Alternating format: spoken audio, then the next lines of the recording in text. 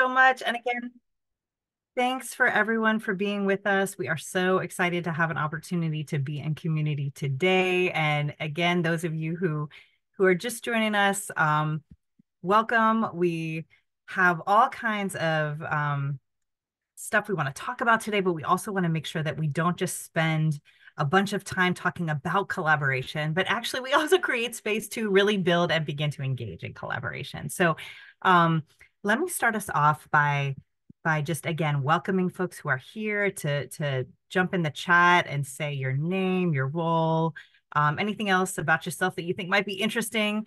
Um, and and as you do that, I'm going to go ahead and share my screen and just kind of give you an overview of where we're headed um, this afternoon, um, so that you have a chance to to to sort of get a sense of our scope. So uh, before I do that, I'm Amanda Taylor, she and hers. I'm the Assistant Vice President for Diversity, Equity, and Inclusion here at AU and a faculty member in the School of International Service. I'm so delighted to be joined by my colleagues um, from the President's Council for Diversity and Inclusion here, who you see um, on your screen, and they're going to be introducing themselves um, in much more detail later on as we dive into the presentation. So let me share my screen here and we will get started. Okay, so get the show going. Okay. Can everyone, can you give me a thumbs up if you can see this? Perfect. Thanks so much. Okay. So we are here today just to make sure you're in the wrong session. This is like when you get on a plane and you're like, am I flying to the right place? What we're here to talk about today is um, collaborating for inclusive excellence at AU and how the President's Council on Diversity and Inclusion, a group that we refer to as PCDI in our land of acronyms in which we live, um, how we're sort of working to and aiming to collaborate cross school collaborations that advance equity here at AU and, and also how you can get involved. So, what we're hoping to do in the time we've got together is really hope that you'll leave with a sense of okay what is this pcdi thing? And what is its relationship to the inclusive excellence plan? Um, and then also that you'll leave with some ideas for opportunities for how we can begin to enhance and deepen collaborations for diversity, equity, and inclusion here at AU, and and even get some ideas for best practices. Right? What? How do we start think about this idea of collaboration? It's one of those words like community that we use all over the place, but what do we actually mean when we say that? Right? What is what is the intention behind this work, and what is our vision for where we want to be? Um, so what we're going to do in terms of an agenda is um, we're going to sort of start with just a, a, little bit of framework that that that I'll talk about around again, kind of defining our terms and and setting some some context for the conversation around what does it mean to collaborate for equity. Um, and then I'm going to turn to my colleagues on the President's Council for Diversity and Inclusion, and they're all going to talk about some key actions for equitable collaboration that um, they are leading in their various schools and colleges uh, where they sit um, around two particular themes. We're going to talk about um, inclusive hiring and retention, and then we're going to talk about building community and belonging as sort of two, two key parts of, of really how we're, we're working together um, and collaborating to advance these, these shares goals that we've got. And you'll hear lots of good examples from them and get to know them a little bit more um, as, as um, we move through. And then we're going to spend really a good 30 minutes in our session in small group uh, collaborative breakouts, where it's like we're going to be led and, and um, facilitated by our President's Council on Diversity and Inclusion colleagues here. Um, but really, this is the time to do some of that collaboration, not just sort of talk about it, but actually begin to, to really incubate it. And we'll close with some next steps like what now? What can I do? What actions can I take? How can I stay engaged? So we'll leave you with some concrete ideas for how we can move forward on that front. Okay, so let me get started here and just just frame out for a few minutes, um, you know, where we're headed and and where we're going. So, um, you know, most of you probably know that the Inclusive Excellence Plan uh, has five big goals. If you haven't heard about it, if you don't live it and breathe it like I do every single day, um, and many of us do, in 20, a little bit of history is in 2018, um, President Burwell started at AU in 2017. Um, and it was a moment for our campus when we really were at what I would call kind of our racial reckoning, I think, at AU on many, on many levels. Um, and and we had had some really horrific um, racist incidents on campus. And it was really clear that this was sort of touching a nerve for our institution, right? And it really helped raise um, for the institution um, a lot of the, the history, right? And a lot of, of, of folk, things that folks have been feeling for many, many years um, um in terms of a sense of um, lack of belonging, lack of equity, how that showed up in, in terms of, of sort of um, racism, but also love other forms of hate and discrimination, and just a sort of lack of sense of, of really being a part of this place, right? So it became this real touch point for our institution. And, you know, work for diversity, equity, inclusion at AU has been going on since AU started, right? I mean, this is really so much a part of, of who we are from our founding, even as we are also founded as a institution of higher education and we know what that means in terms of you know the ways that dominant ideas um, you know white supremacy and and lots of other forms of um, uh, of sort of oppression sort of tend to get baked into institutional practices and procedures, right? So AU has had this as a part of our history, both sort of resistance against this, but also really a reflection of what's been going on um, for institutions of higher education really um, since their inception, right? And, and the ways these two things are constantly um, working together. But this moment of 2017 um, and 2018 became a time for AU to really step back and say, um, say, hey, we've got to take a more systemic approach to this, right? We, we can't just be doing these small pockets. And the pockets of work had been incredible that had been going on um, since since AU's founding, right? There's been really phenomenal work done by all of those who've gone before um, and that that will that has really set the main foundation for this work. And we want to honor those who come before. Um, and yet we said, you know what, um, this is the time for for systemic work. This is time for us to come together and really say, what is our strategy together for like really moving the work forward? And so the Inclusive Excellence Plan was launched in 2018. Um, and it, it was really designed um, to move institutional transformation right? So how do we change this whole thing that we call the university, right, across lots of different pockets? And so it was organized, and if you check it out, um, maybe some of my good colleagues could drop it in the chat.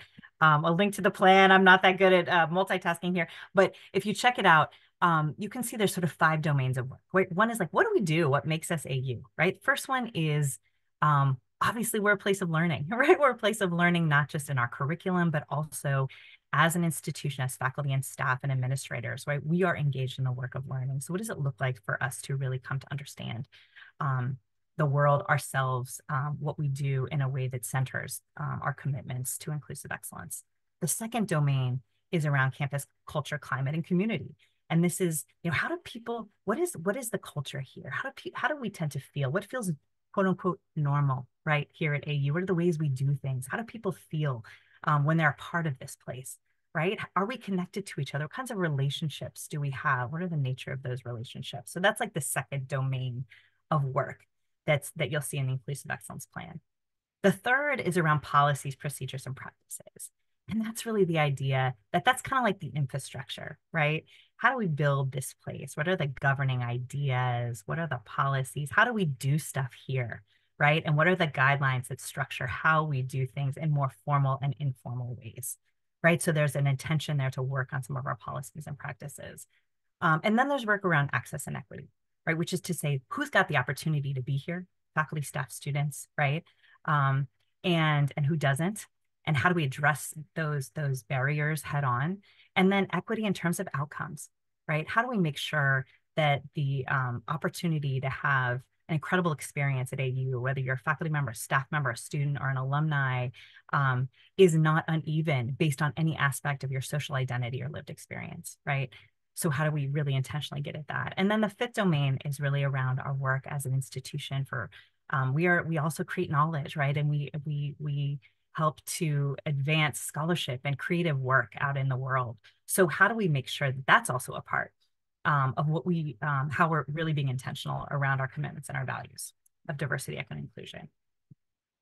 So this is like a gigantic, obviously, endeavor, right? I mean, this is something that that is really um, ambitious and it's really clear is going to take more than um, one person, one office, or even a set of people to take this forward.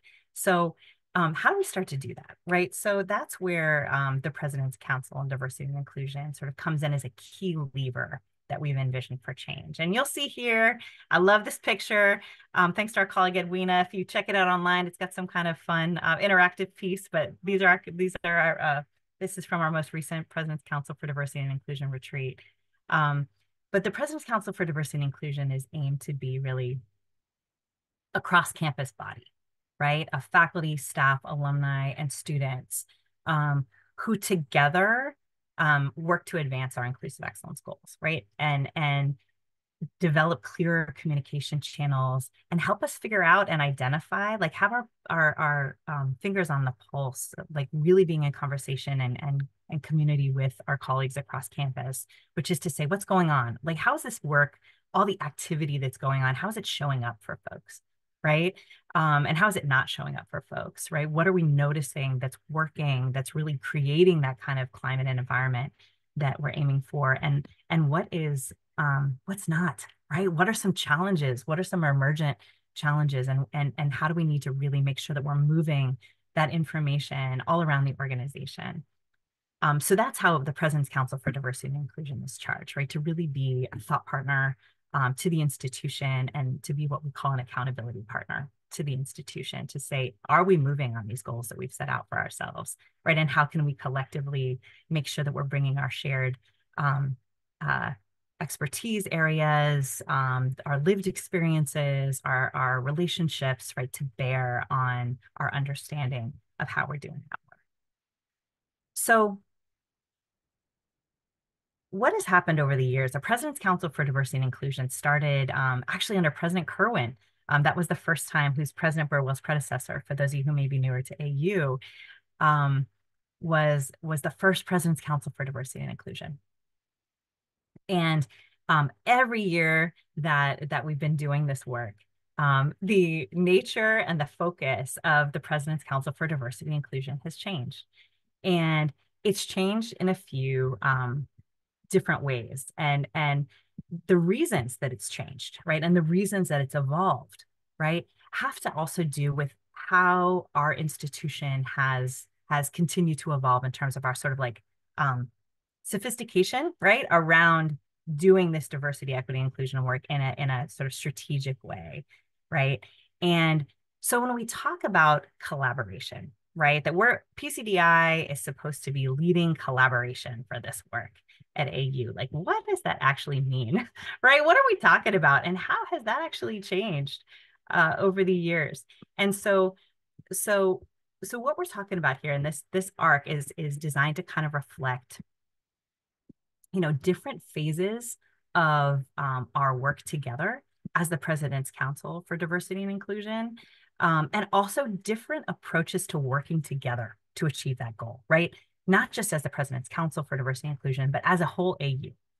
Um, and you know what you'll what you'll see on the far bottom left is um, this area that we call, um, and I'm going to draw a lot on Adrienne Kezar's work. If you know um, uh, any of her work, and I can drop a link in the chat later to give you some context for this, but um, she's an incredible scholar of higher ed and equity at USC. She talks about cooperation, right, as sort of an early phase of how we work together for diversity, equity, and inclusion. And that's usually aligned with like mobilization, right? When you're first starting to create a plan um, and you're starting to kind of organize the work and getting some buy in for the work, right? And PCDI in its first iterations was really about cooperating, right? Which means like coordinating, you know, what we do together, like making sure that we're all, we understand what we're all doing, we're sharing information, we're sort of achieving our individual tasks together. That's really that first phase. And this is obviously super important. You've got to do this work, you've got to lay this foundation. But it's also really unlikely to create the kind of deep institutional transformation that we need for the systemic work. Like this is sort of a necessary but insufficient phase as organizations grow and change around diversity, equity, and inclusion. So the sort of second phase of the work, which I think is where we are right now, if I'm being honest, um, is this work around collaboration, right? And collaboration is usually when it, when a, a institution, a college, a university is kind of implementing a diversity, equity, and inclusion plan, right? Um, which is to say, we know what we're trying to do, and we're actually now trying to do it, right?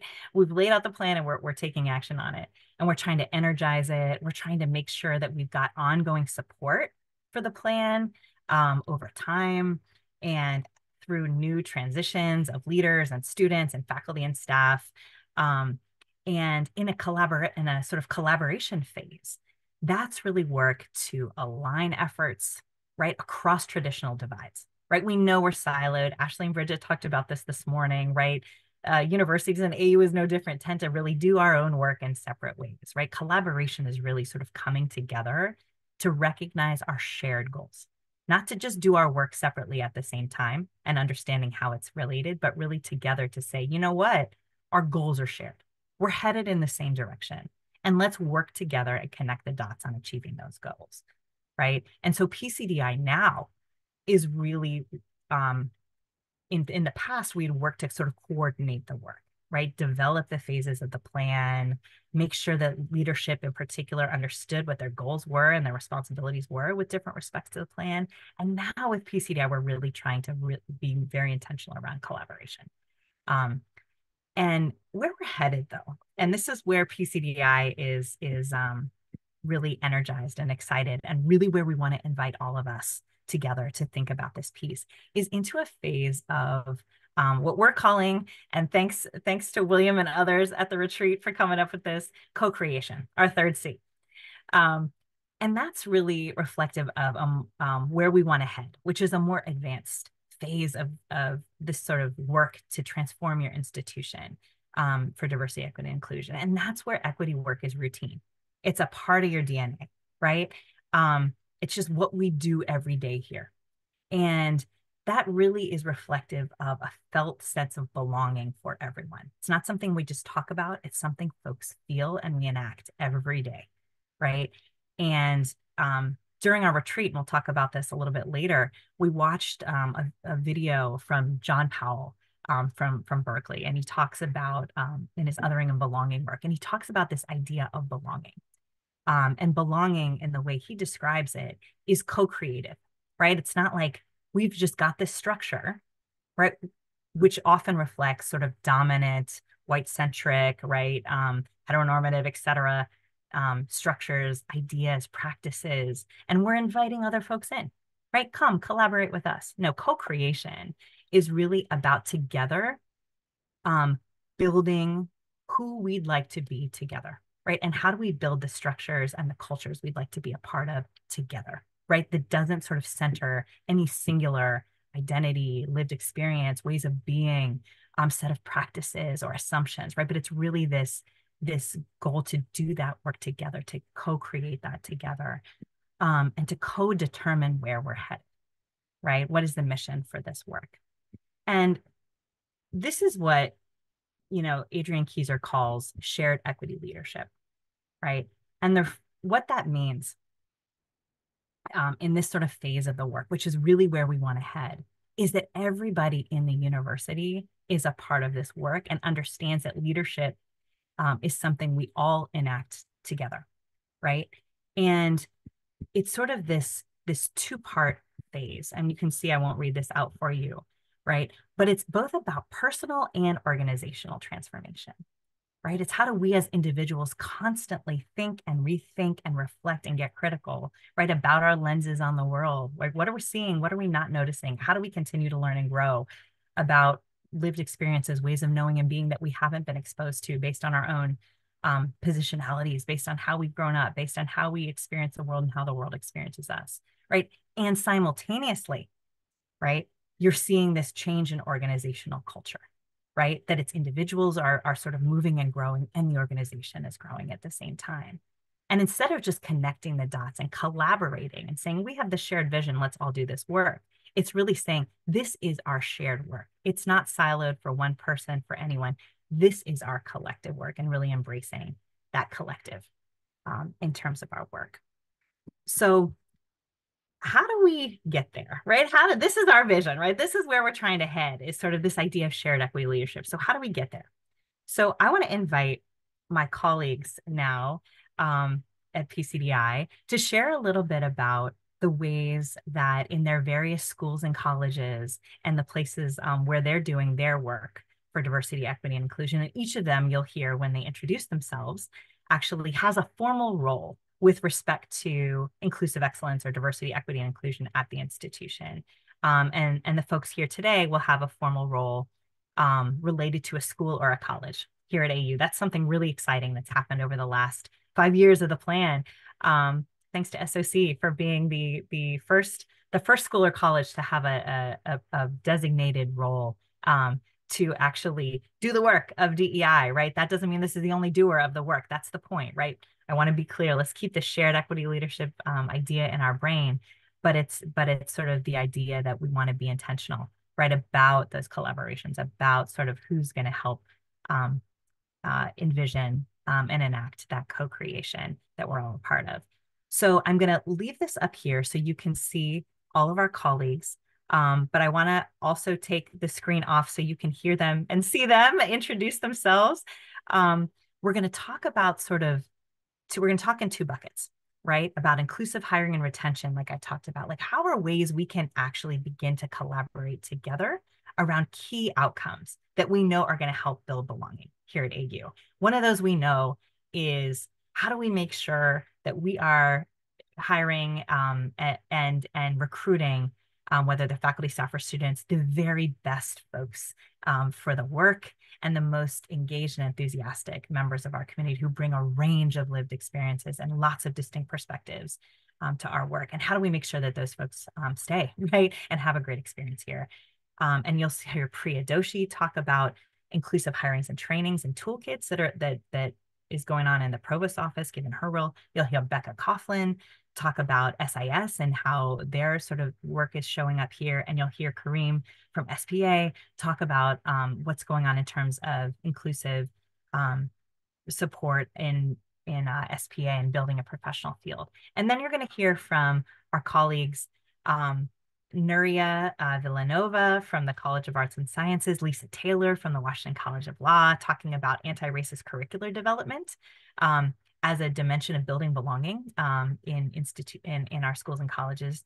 You'll also hear our good colleague William Thomas talk about how the School of Education is really applying Professor DeCuire's anti-racist mindset and practices framework to build a sense of community and belonging in the School of Education. And you'll hear our good colleague Gemma Puglisi from the School of Communication talk about SOC's Inclusive Excellence Week, which is this wonderful sort of series of events where they highlight a lot of work going on across SOC that helps build belonging. So let me stop the share and give you a chance to see my colleagues and have them take it from here. Thank you so much, Amanda. Um, hi, everybody. I'm Priya Doshi. I am the Associate Dean of Faculty and Inclusive Excellence in the Office of the Provost. Um, prior, I'm also a faculty member in the School of Communications. So shout out to SOC again. Um, so I wanted to talk to you a little bit about some of the resources that are available AU-wide. And I'm basically going to split these into two buckets. So there are um, there are uh, resources that are provided through the Dean of Faculty's office, and those include um, we have just revised the process of briefing search committees for full-time faculty positions. Um, so we do these inclusive practices for search committee briefings, and we offer a number of dates per year, which we then share out with all of the units, and we ask um, every member of a search committee for a full-time faculty role, whether term or tenure track or tenured, to participate in these inclusive practices briefings, which we think are really valuable and important to setting the groundwork for what we're looking to do in terms of widening the pool of applicants that we get. Um, in addition to that, we've created an inclusive hiring toolkit for faculty, which in addition to providing kind of the step-by-step pieces of how to request a search and all the steps about um, how to do a search, also has, um, we've woven within it um, inclusive practices at each phase that are research backed. Um, and then I would also want to point your attention towards some of the mentoring work that we're doing, um, largely through the Advance AU grant. Um, we have a number of initiatives that are running, and I'm going to actually drop into the chat when I'm done talking a list of resources so that you can find all this information on your own. But in addition to the good work that the Dean of Faculty's office is doing, Human Resources is also doing a lot of great work in this field. And so that's for the entire AU community. It's not faculty specific. So um, I would say, you know, for that, you want to reach out to a couple of key people in HR. And again, I will provide their names in the document. I'll, I'll drop into the chat, but Jennifer Scott, Marissa Romero, and um, Shannon Talenko. Um, so they also have an inclusive hiring toolkit and a number of other inclusive excellence resources in hiring. Um, and I'm going to provide you with that link. Um, they also have a number of excellent trainings that they do throughout the year, um, including a really great onboarding training, which Shannon is rolling out. So that's offered monthly, and that's about um, inclusive practices at AU. And again, for anybody, not necessarily just for one category of our community.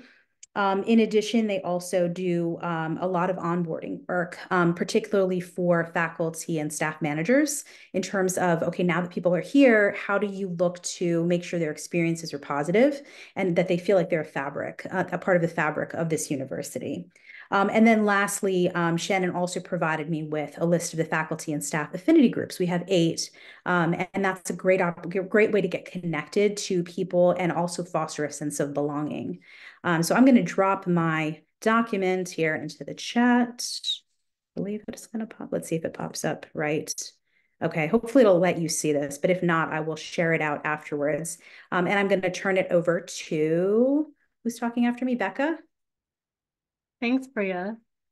Um, so uh, my name is Becca Coughlin. I'm the um, Associate Director of Graduate Enrollment Management. And within that role, written into the, the position since I've had it, which is 12 years ago, there is a, a strong DEI component, which has become leading DEI initiatives across SIS. And then I have a second role co-chairing our SIS um, Dean's Advisory Council on DEI. So just to kind of situate myself inside SIS, um, and uh, you'll keep hearing about these different ways that each institute, each uh, unit has created a DEI role. Um, so I'm going to kind of drill down to be a little bit more specific after Priya's nice overview around inclusive hiring work that SIS has done. Um, and uh, this again relates to the toolkits that Priya was mentioning. So uh, a few years ago, SIS was working on creating an inclusive hiring toolkit that would be specific to our field. And in doing some of the research and work on that, I got talking to HR and learned that they were in the process of working on a toolkit as well, an inclusive hiring toolkit. Um, I think one of the ways PCDI has been helpful, as well as the Inclusive Excellence Plan, is um, helping to reduce the number of times that simultaneous same work has been going on. But that has been a problem at sometimes in the past. So we we took these conversations and um, began learning a little bit from each other. Um, and uh, just as SIS finished our toolkit, um, we started talking about how important it would be to not just orient our hiring managers to the toolkit to make sure they're used well and used as far as possible, but also understanding that um, a toolkit itself is not necessarily what is needed to try to interrupt uh, places where implicit bias can be um, impactful in a hiring process. And so what we decided to do next is to create a workshop on um, uh, for for our full our managers of full-time staff. So faculty who manage full-time staff and staff who manage full-time staff were our first group for this. Um, and we decided that we would work on not just an orientation to making use of the toolkit, but also working in a experiential way with scenarios, vignettes, dilemmas, all sorts of real world kind of situations um, to try to help people better understand the ways that implicit bias can continue to seep in. And to also know there's not a recipe for exactly how to stop that from happening, that there's lots of different approaches. So we took a very hands-on approach. We at first decided to work on training a handful of folks to be our inclusion partners and then made it clear that hiring managers could pull one of these people um, into their hiring committee um, and then we realized how complex and difficult it was to manage all of the um, sort of logistical issues of working that way. And we also, I think, got a lot of buy-in for mandating um, all uh, managers or full-time staff uh, participating in this workshop. and that that then simplifies things. If every hiring manager has had this training and experience, uh, then they're better equipped to work on hiring process. So we went in that direction um, as sort of a phase two approach. And um, at one point had about 90% of our uh, managers of full-time staff trained. Um, now we've had some turnover. So I do also not want to paint too rosy of a picture. All of us have bandwidth struggles. Um, all of us have a lot of competing demands. So where we are now is in need of offering more of these workshops for folks who are new after some turnover and faculty who have taken on manager roles who didn't used to have those. So um, we're working on that to make this an ongoing, um, useful uh, process. But we had very good feedback from the workshop, especially I learned from our feedback evaluations um, because of them being so interactive um, and uh, example based. And uh, we learned that um, not only would 100% um, say that they learned something helpful in an inclusive hiring process, but 100% also reported that they learned something helpful to be more inclusive in their everyday work. And some comments even said, um, this is would be useful for everyone, not just in the hiring context. So those are some things we're continuing to think about.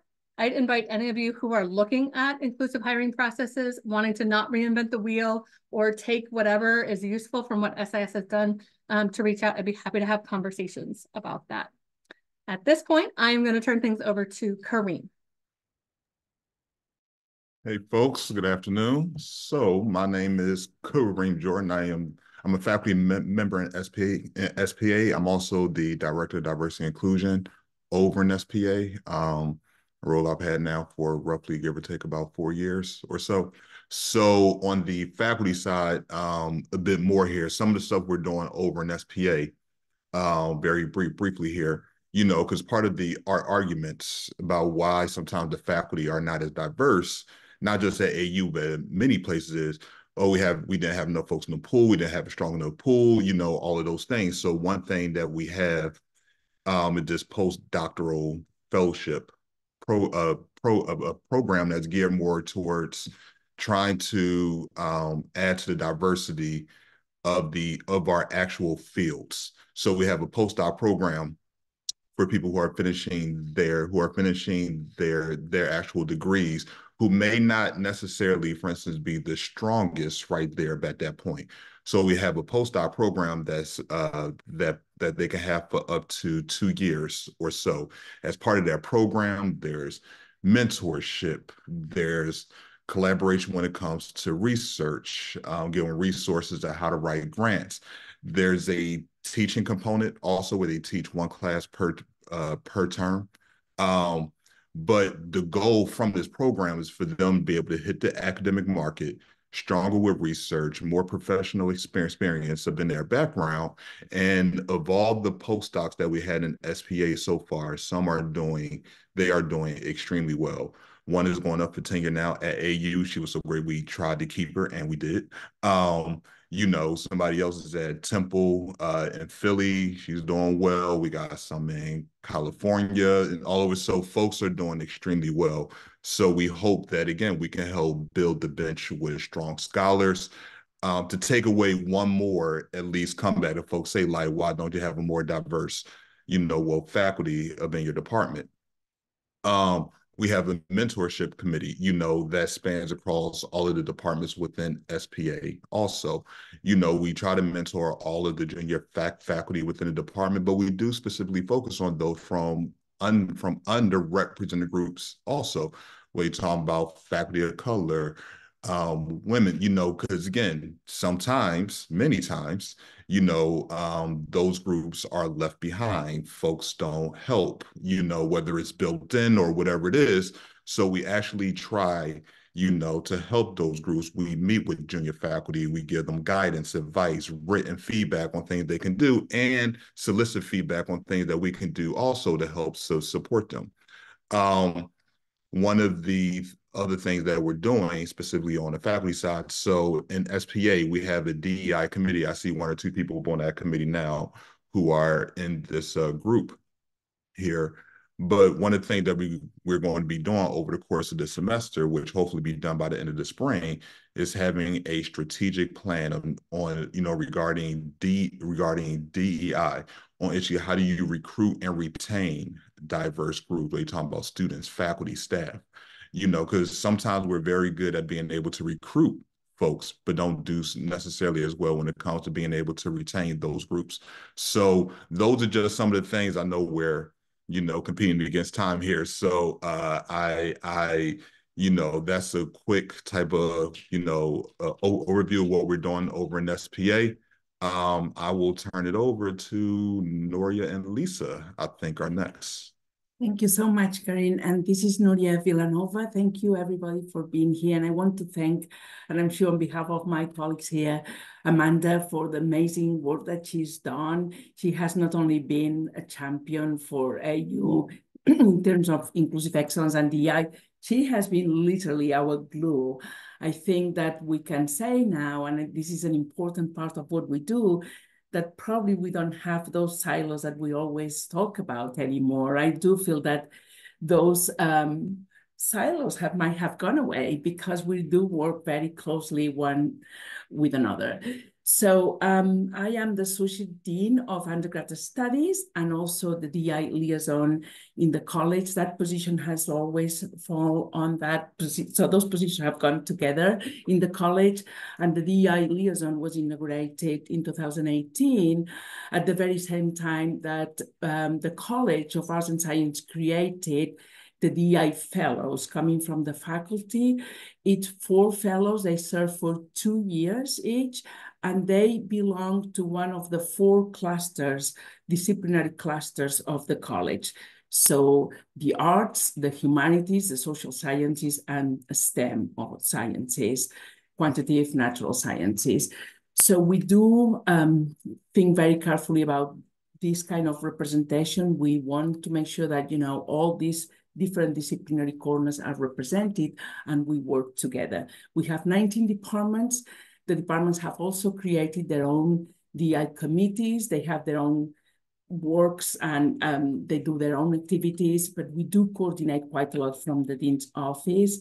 This, the fellows work with me, I work with them. And we also have a DEI committee, which is um, the fellows, the four fellows, plus the postdoc. We have two postdoc for academic diversity, and then we have a postdoc from Ukraine and a postdoc for Afghan Afghanistan. Those were created as we they don't have this title, but kind of a scholars at risk um, situation. And we do have those two postdocs as well. So all these colleagues of mine and myself and the director of a program that we have for a student that is called CAS LEAD and is leadership, ethnic, ethical leadership.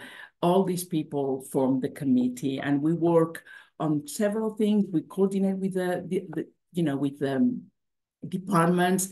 We have organized workshops, and probably our kind of signature, um, you know, activity was a document created in 2020 that is an anti-racist development curriculum document. So I will put it in the chat. It's open, it's live, it's in our website.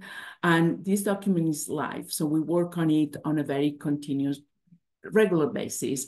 So it has also the four corners are represented there with best practices, with some kind of, you know, recommendations, with links to different resources.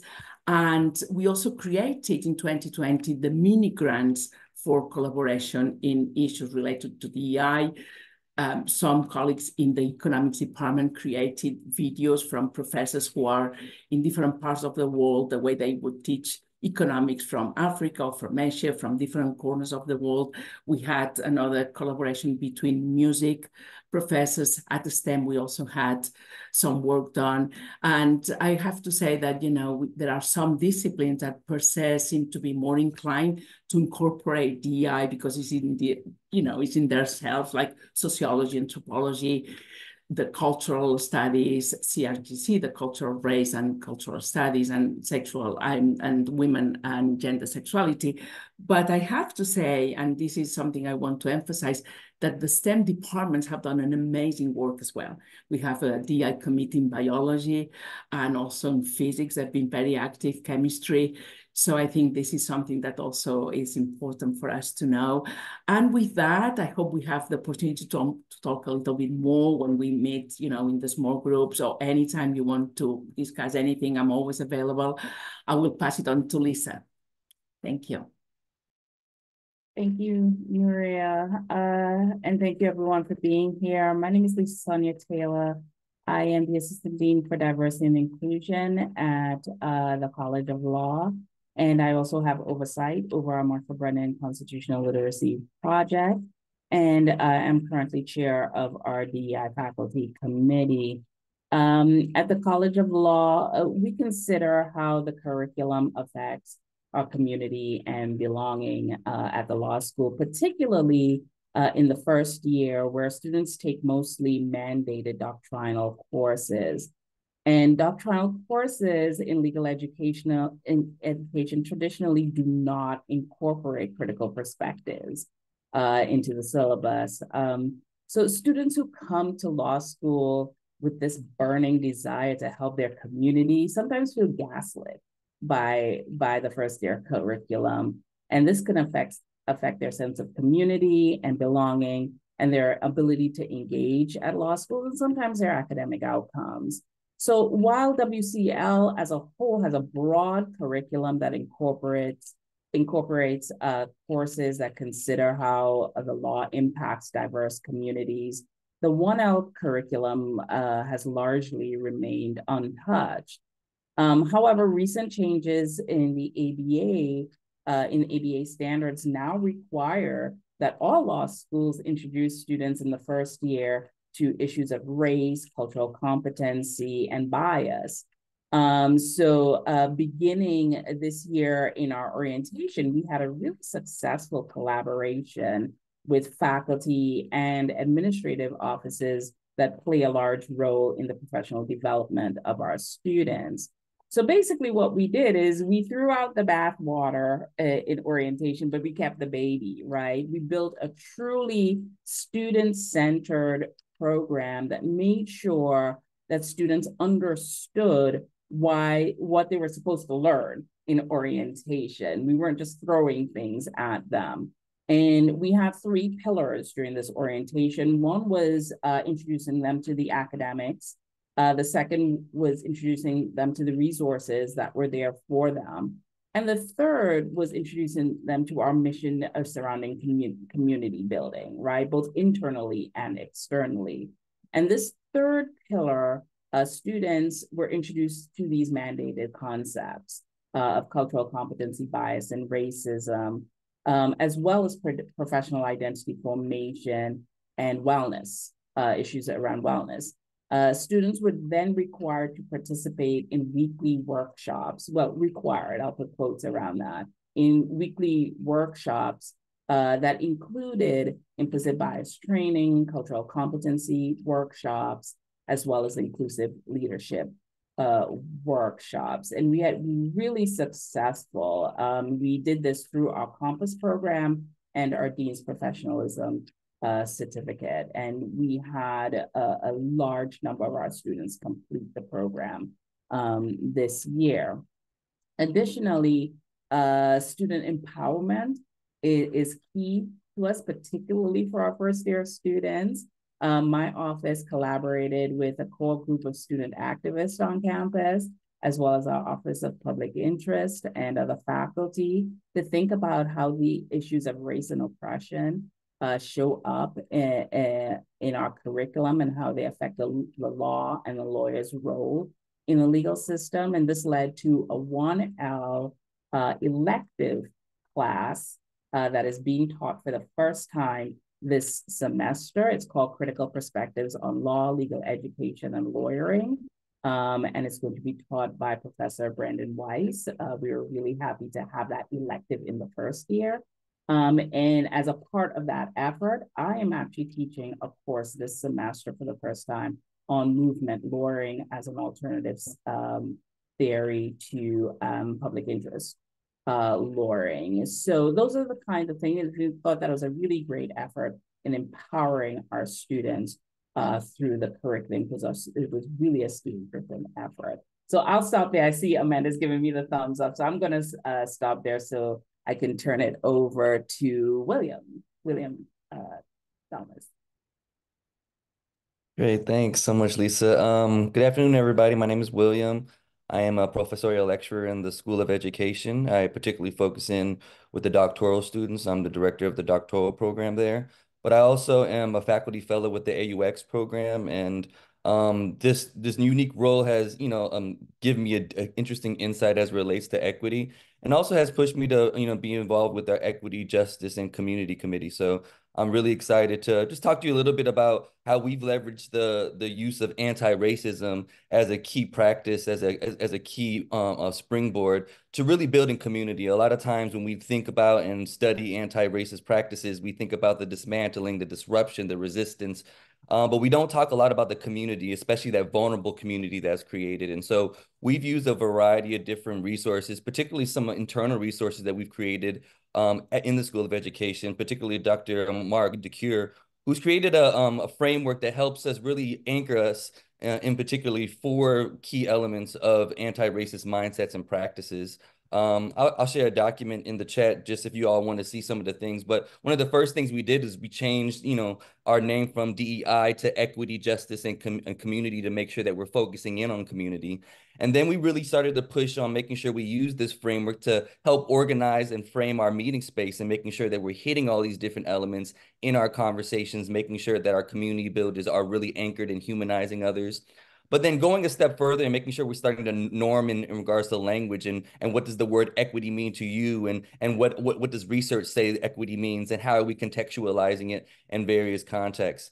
Um, and then with that, you know, we, we we realized that the biggest piece that we needed to zero in on is building capacity amongst our our um, school of education, but in particularly through commu- uh, through community. And so we've really been springboarding these uh, uh, podcast listening groups where each semester we have a, a, a moment where we have folks from all over the the school come in and, and talk about a particular podcast that we've been listening to for the past semester and and have some critical dialogue and be in community um, and understand that that vulnerable space that we're all in trying to do this equity work um, you know there's there's there's others who are doing it and so um excited to to collaborate and expand and and when we get into small groups answer any questions definitely about the, the great work that the school of education is doing and and helping you know and learning from as well um from from other spaces so i'll pass it on to i think uh, gemma to me. Hi, everybody. I'm going to be real quick. It's me before the breakout session. So just real quick, I'm the diversity director from the School of Communication. I've been here 20 years.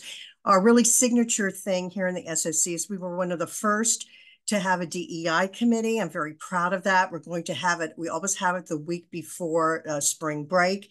This year it's going to be March 4th through the 8th. We're going to kick it off with some kind of an uh, event where we would be working with uh, some of our college uh, folks and university uh, folks from the DMD Virginia area and talk about best practices. It's great. We're in this great city and it's great to have all these universities come and talk about it. Just really quickly, last year, some of the things that we did during this week was we had a panel discussion on trans life at the university. We invited uh, wonderful Associate Professor Perry Zurn to talk about that. We had a student who represented AU Pride to talk about what we can do to help uh, trans students feel more supportive.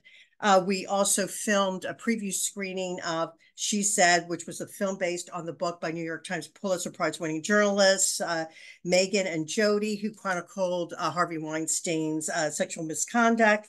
We had Donuts with the Dean. We had a KPU and uh, partnered with them on a, a great um, woman who uh, Nebula Noor, my colleague Priya Doshi, got her, and she's a prominent influencer. And she talked to students about that. And then finally, we um, had a, a, great panel discussion with students who are editors of, of the um, Blackprint, uh, of the Eagle, and um, AWOL. And they talked about some of the challenges that they face in terms of covering everything DEI. It is that is it for me. I'm going to turn it over to Amanda so we can get started. Thank you. All right. So thanks to my awesome colleagues. So excited to actually have some time to begin to um, sit together and be in conversation. So um, I've put